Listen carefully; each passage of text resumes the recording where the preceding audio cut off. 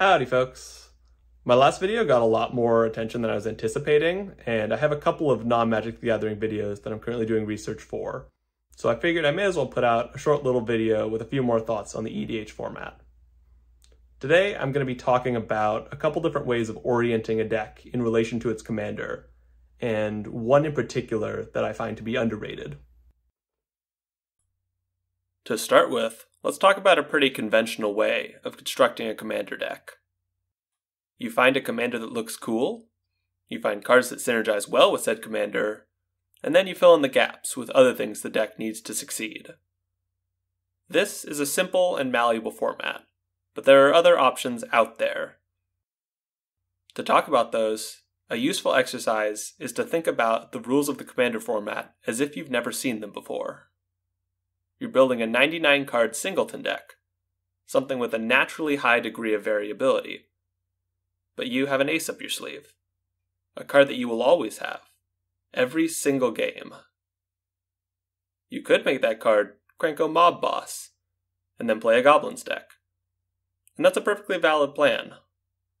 But something you might notice about that plan is that the commander and the deck do basically the same thing play goblins. A lot of strong decks will opt to have the commander do something tangential to the rest of the deck, tying in with some key cards, but broadly offering something different in nature than the rest of the deck. However, my favorite form of this relationship is where the commander does the exact opposite of the thing that the rest of the deck is trying to do. Basically, you pick out a commander, and then you build a mid rangey deck with a glaring weakness solved by that commander. An example that comes to mind is a Glissa Sunslayer deck that I built several months back.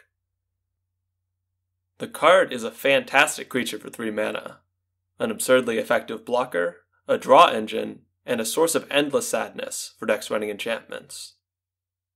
The EDHREC page seems to consist mostly of decks trying to capitalize on removing counters from your cards, but I instead opted to build a hardcore battlecruiser deck the commander's flexibility and daunting presence means that I can fully forget about early game creatures and not worry as much about draw, instead, jamming my deck to the brim with ramp, removal, and massive cards. I have a top notch blocker that's also a draw engine every single game, and that lets me use my deck slots to focus on being the greedy bitch that I truly want to be deep inside. Another example of this is a Liesa deck I built recently. When I first saw Liesa, I went, God, that card could absolutely beat the tar out of people. All I want in this world is to mercilessly beat my opponents with that angel. So great, my commander is selected. How to build a deck around it? Well, judging by the EDHREC page, most people's answer to that question is to put it in a life gain deck. Now, I don't hate this approach. You know, run a bunch of cards that gain life and some life gain synergy, and a commander that will sap life out of both you and your opponents. It makes sense, and you could even argue that it sort of fits my template here. But that's not the direction I went in. Instead, I decided to build a deck that's just dying, craving for a beater to cut through a stale board state. I built a Hate Bears deck, I crammed as many hate bears as I possibly could into the deck. Just truly an upsetting wall of little asshole guys trying to ruin the day of my poor opponents. And the deck has ended up working exactly as intended in a good portion of the games. The cards in the deck chip and damage, prevent damage coming at me, and generally hinder my opponents in all sorts of ways. And then Liesa cuts through the resulting board quagmire to reduce my opponents to a paste-like homogenate. By design, it's a deck with roughly a Liesa-shaped hole, and I'm able to play Liesa for 5 mana anytime I want, in any game I want.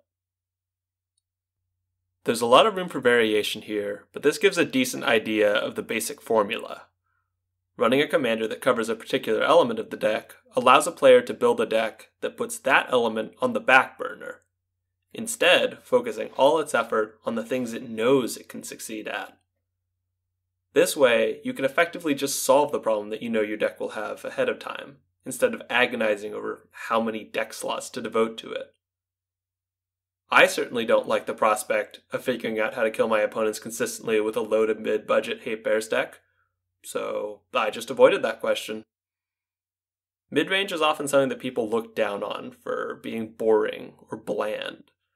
But with some creative usage of the rules of the format, you can build a really fun deck that exists within the mid range realm. And I think more people should give that a try.